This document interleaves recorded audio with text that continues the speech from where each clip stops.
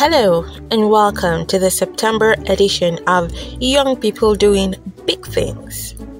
Our guest for today is a 15 year old Texas who started her software development journey in 2017. She is the co founder of The Girls Techie and she is based in Nigeria.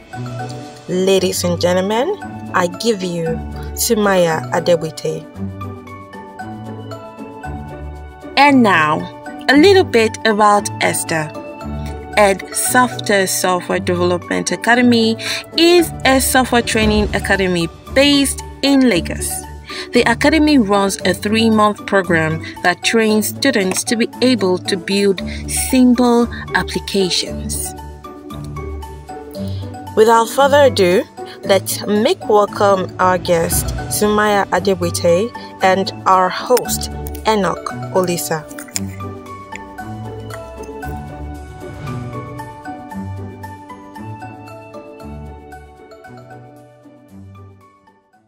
Hello, everybody, and welcome to another edition of Young People Doing Big Things. My name is Enoch Olisa, and I'm happy to have you here. For those who are joining us for the first time, you're most welcome to today's edition. And a quick one about young people doing big things. It's an interview that's a series of interview sessions that is focused on showcasing what young people in the tech space are building.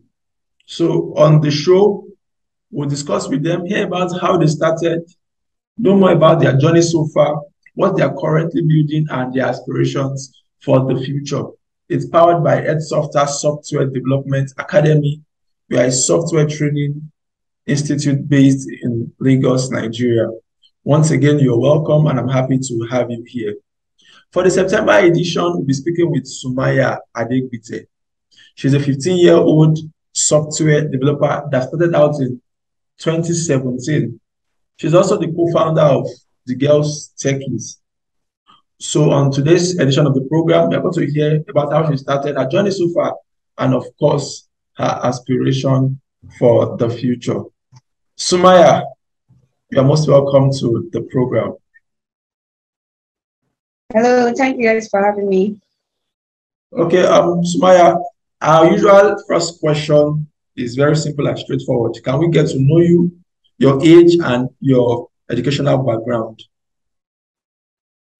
All right, so hello everyone. My name is Sumayah Adegbite, and I'm a 15 year old software developer from Lagos, Nigeria.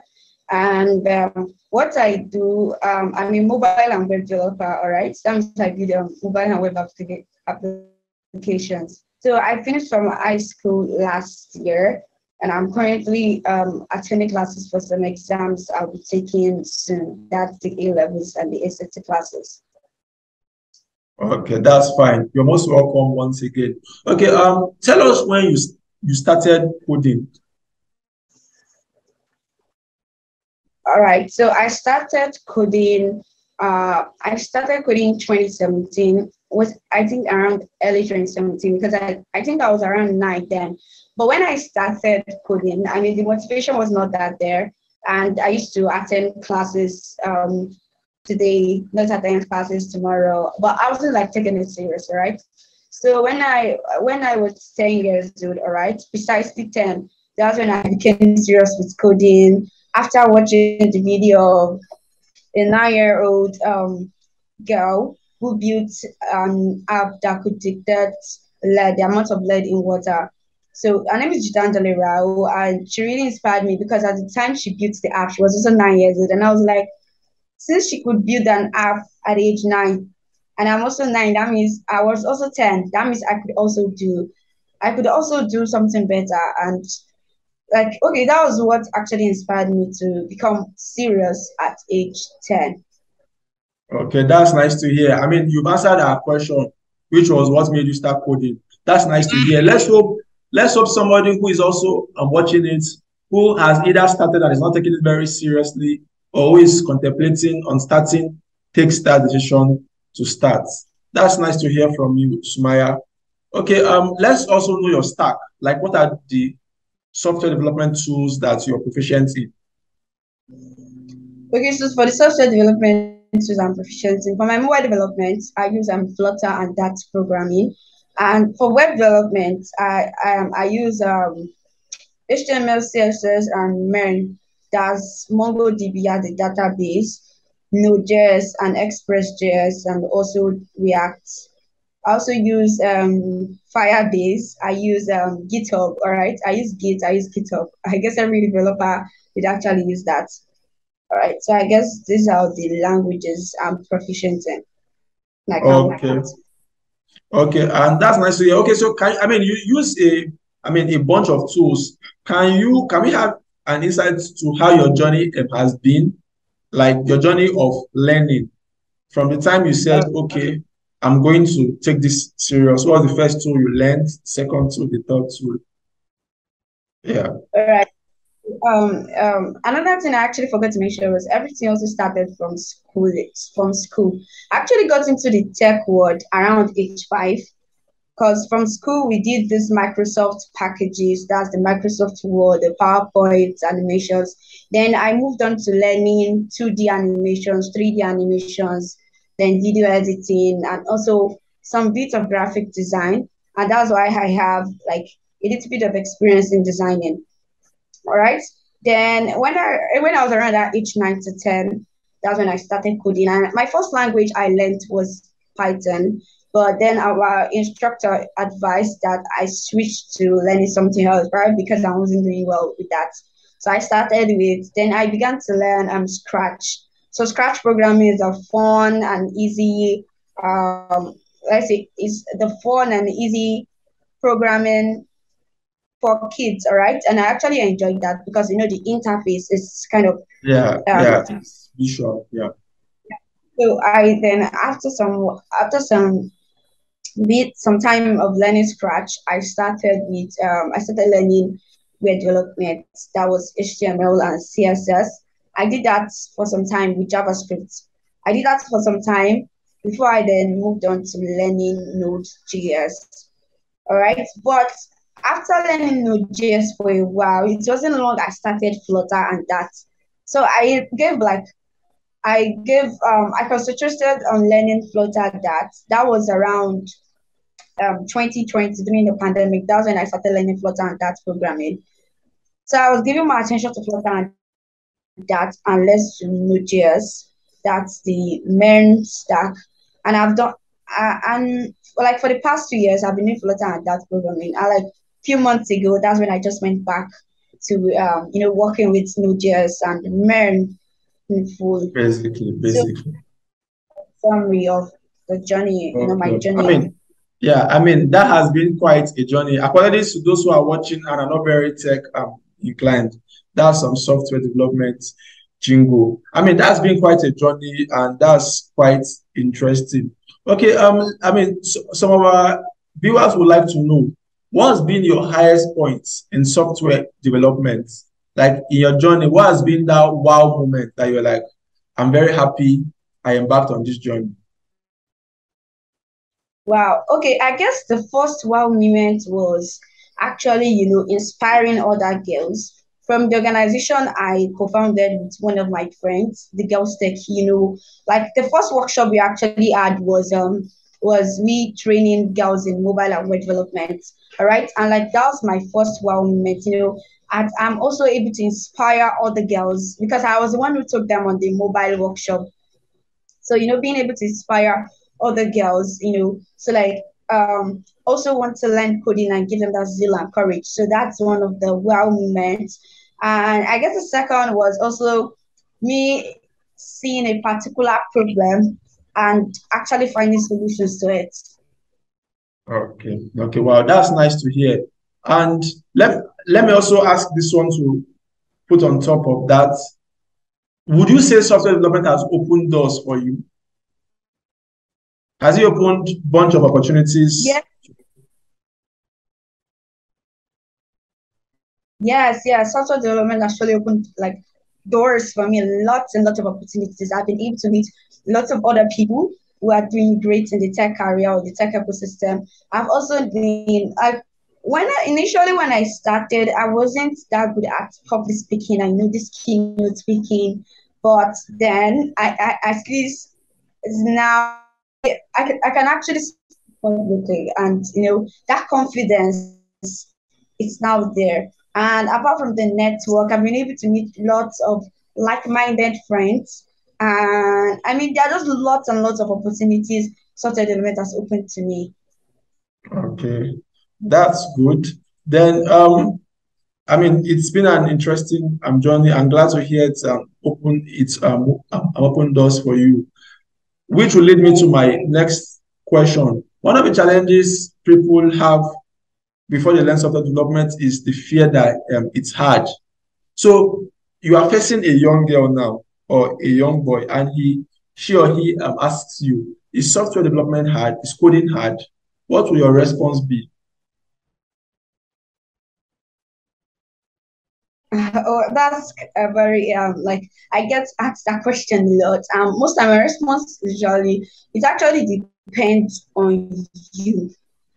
That's like the answer. For some, like when I started with Python, uh, my instructor actually had to advise I switched to another thing. And some would also start with that same Python and they're also going to like, get it. All right. So it actually depends on you and also your determination you know, the zeal to learn. Sometimes you you are actually capable of learning it, but probably because you're not motivated or you've not seen something that's going to push you to like just move forward and take that one single step that's just going to put you into it. All right. So it actually depends on you, depends on who you are. That will determine if coding is um easy or uh because like uh, you know there's scenario whereby someone is just getting into tech industry and they're like, oh oh I saw I wasn't fit for coding, and that's why I switched to designing. So it actually depends on you. So once you know yourself, you are able to um, you're also able to you know determine how you want to learn. Let's say, for example, for someone who's interested in game development, and the, like someone loves games and someone would love to build games there's now if that kind of person would be interested in game development and you see because of the passion the person's passion or love for you know playing games the person that zeal to also build his own games would also be there. So the response is it's actually it depends on you who you. are. Um, that's nice to hear. I hope somebody watching this can fly with that. It depends on you. Thanks so much Sumayah. On to the next one. One of the things i believe is that doing things usually is um, easy when somebody who has done it shows you the way. Yes. So the question is, do you have mentors? Have, have there been people who have held your hands and shown you the way? Have there been people you have looked up to in your journey so far? Yes, I have lots and lots of mentors. From my school instructors to my dad to to to like I have lots and lots of mentors and I guess um this was just mentors that were um that actually like Sumayah, you have to do this. Have you attended class today? They're like, you know, having mentors can be very good as they actually they check up on you and they keep you in check. So I have lots and lots of mentors. Okay, okay, that's nice to hear. And for those who are also watching this, I think you can take something away from that. You need people to as she said, puts you in check. Sometimes you may just want to lose hope or just relax. You need somebody to ginger you. You need somebody to ask you, ask you um, questions. rather, you need somebody to encourage you. Nice to know you have mentors. And, and, and of course, I'm not surprised. Okay, let's now go to some of um, the fun stuff we techies love to talk about. Um, what's your dream computer? Do you have a dream computer? Like a dream PC? A dream PC. Uh, that's actually funny. Right. I think I'm actually cool with any PC. I'm actually, as for me, I'm actually, I'm not a fan of, you know, you know, of these, probably these fancy um, laptops or computers. I mean, any computer that is working fine and it's not going to lag because, you know, my mobile development actually gets fed up. Like the system I used to use, um, if it's lagging, like it's not efficient enough. So um, whatever system doesn't lag and like it's just fine and okay. I think I'm cool with any PC, okay. any computer. Okay, that's nice to hear. Just work and let me get it done. Yeah. Okay, let's now move to um company. what would be your dream company? Like, what's that company you would like to work for in the future? That company I would like to work for the future. Uh, probably Google. Probably Google. I mean, why does everybody want to work for Google? Why? Just why? I don't know, but I mean, you know, seeing people, I just got a job at Google as a software engineer, and my gosh, I mean that feeling. yeah. Okay, that's nice to hear. Google is uh, uh, Google is um, actually a very great company. I've done a whole lot of findings um, about their internal uh, culture. It resonates with just I think the way tech is. I mean, yeah. it's actually a, a very good company with a very cool work culture. That's nice to hear. Now let's talk about some of the things you have built, and we can you, you can go into a bit of your plans for the um the future. So let's talk about the girls techie. So what does the girls techie do, and what does your the plan for um, for the future um, look like for you? Yeah. All right. So um, the Girls Techie, it's a non-profit organization, and will I say in simple sentence, our um, it's just about bridging bridging the gender gap in STEM. All right, and this is um for young girls like me. You know, from my experience of starting at a very young age, uh, I mean, when I was very um around ten years old, all right, I used I used to attend um tech events okay, so just GDG events, whenever GDG organizes events, I usually attend. And whenever I attended, there are females actually, there are females there, but like these females are way older than me. And I mean, I'm just 10. So these actually the things that inspired me to also like start one of the things that inspired me to actually start this, this organization. So we create a community for young girls within a specific age and that is 13 to 18 or probably less in text based. So that community, you know, you're free to interact, you know, intimate, intimidated. All right. So that's one of the things that actually inspired me to start the Girls Techie with my friend. All right. And um, like I said earlier, uh, in simple words, we are just about bridging the gender gap in STEM.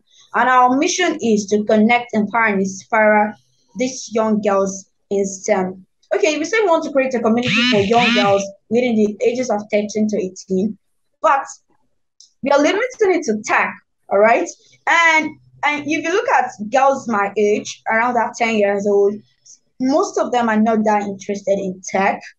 They are not in tech already. So before we create this community, we they, they actually have to be trained. They have to um, at least have a, um, a solid uh, some background of this technical skill. So as we're creating this community, these girls are also being taught in different aspects of tech.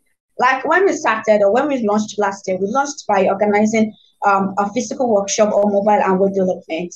And these attendees were actually noted. And when we organized our cohort, we reached out to them to like further the learning they already started during the workshop. So in the cohort, it's it's also it's it's lasted for two months on like these young girls were taught in different tracks, ranging from front end development to back end development to data science and um and UI UX. All right.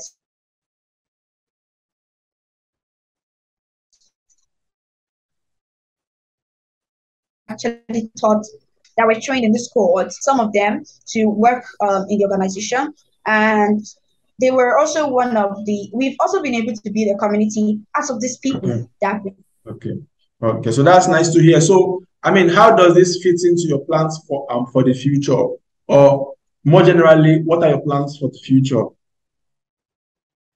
Oh okay uh, like our main plan for the future is the girls techie should be um, everywhere that's there should be a a community for young girls within that specific age range I, I said earlier, which is 13 to 18. We should okay. be recognized. As, um, you can start at, at any age. Okay. At any okay. age. Coming up because another problem we actually identified when we were doing our research was one of the reasons girls were not interested you in this tech was because they didn't see people in their age range or age bracket to inspire them. I mean, a lot of times when we say um, females in tech, they're usually women. I mean, people who are way who are older. And let's say for young girl who's just watching, she's like, oh, it's because she's older. That's why she's able to uh, do this tech team. But when they see there's a community of, um, I mean, young girls who are doing great in the tech space, they're inspired, and I, I think, I think that's that's the key thing we need because like tech is for mm-hmm. everyone. It's not limited for a particular gender or for a particular age or yeah.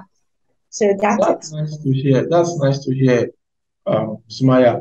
Um, it's been nice speaking with you on a range of tech related um, issues. Let's now move on to business and the nation at large. Okay, Ted, oh, yeah. looking around you, what societal problems do you feel Nigeria has that tech can solve or software solutions can be of help? Hmm. I think the, the major problem, one of the major pro, pro, major problem, all right, let me correct that. One of the major problem we actually we are facing in my country, Nigeria, is um we don't have like our data, it's poor.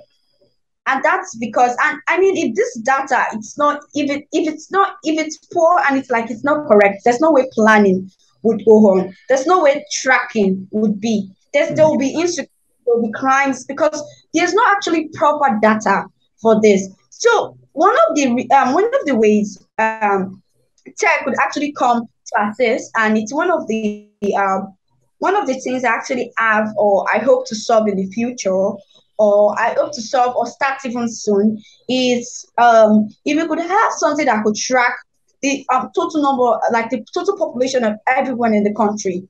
Because if we, is this data that would actually be used to plan and know? Because let me tell you one interesting fact.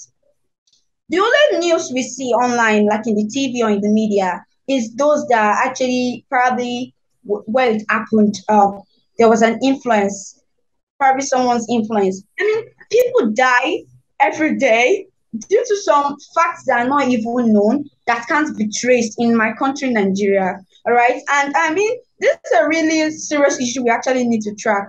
And one of the um plans, because there was a time I was asked to come and speak at um Lagos State University on the impact of artificial intelligence and data science in, polo- in politics. And one of the things where um, I was able to reason out was during my research was um, if we had this planning, the whole insecurity issue, uh, sorry, uh, sorry for that. If we had this proper data planning, um, the whole insecurity issue we face wouldn't be there. And that's because uh, um, with this data, you're able to track. So let's take a scenario because I live in Lagos State. So there was a time there was an uproar on the um, internet um, a few months ago about a girl that was um, I, kidnapped in uh, government-owned um, yeah government-owned bus at the BRT.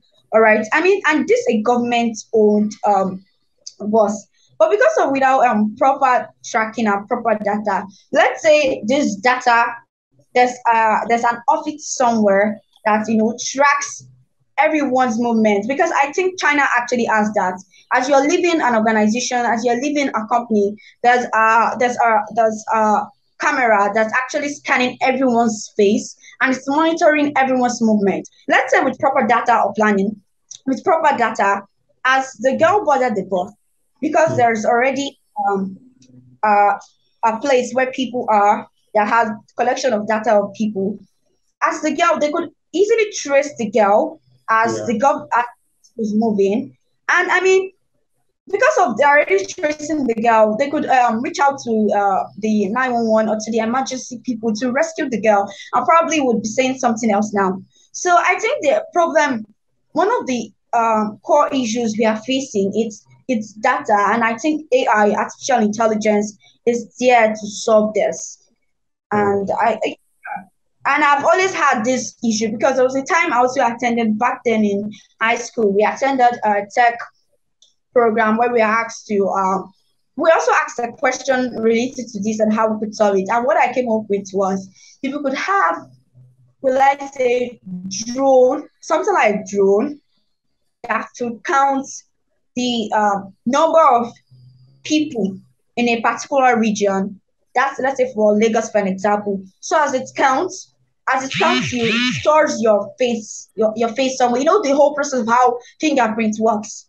So yeah. that's how it's also going to work. So it's going to save your um scan your face and store it somewhere, and also your information, and it's not going to like count you again. So I think with that, we are would be able to um get like the total population of everyone in the country, and that because we had the case of during the COVID nineteen. So I used to, during the COVID nineteen, it was lockdown. So I, I like I, I was very conversant with the media. I usually um watch um what yeah listen to it.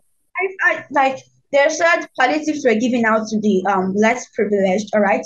But it's something that this palliative didn't reach some people, and that's because yeah. um, they actually give out this palliative, they don't know the um they don't know the um the, it's still the same thing about data. Let's say mm. they already know oh, we have the um let's say uh, a total number of people in Nigeria earning um, less than this because I think that was actually one of the criteria. Then I think depending yeah, on the amount in your uh, bank, uh, the palliatives should reach some set of people. Yeah. So I mean, if I'm yeah. if I'm understanding, well, yeah, with um data, data will does help proper planning so that I mean it helps us uh, achieve things just like you said, like a proper um, distribution and allocation of resources. Okay, thanks so much um, Sumayah. I mean, that's very, very insightful. I mean, not once, not twice, I've had thoughts on how proper data collection and processing can help solve society issues. That's a very insight, insightful answer. And hopefully in future, let's hope you develop some solutions around that. Okay, so just some last two questions so that we can be done in the next two minutes. What advice, just one advice, what advice do you have for somebody thinking of going into software um, de um, development, what's the advice you give that person? All right, my advice would be just start.